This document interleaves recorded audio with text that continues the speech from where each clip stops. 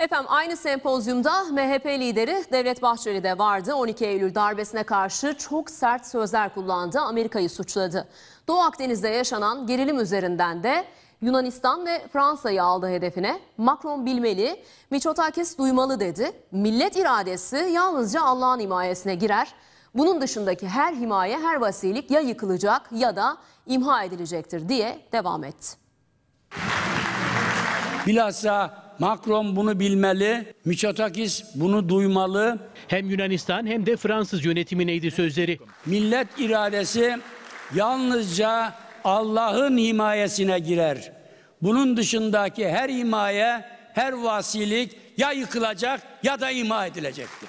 MHP lideri Devlet Bahçeli vesayetten demokrasiye milli irade sempozyumunda kürsüdeydi. 12 Eylül zulümdür, zillettir, hezimettir, rezalettir, cinayettir. 1979 yılında 12 Eylül darbesinin yaklaştığına dair bir raporun yayınlandığını hatırlatarak hedefini Amerika'ya aldı. Bizim çocuklar başardı demek Türkiye'nin emperyalizmin tuzağına düştüğünün delilidir.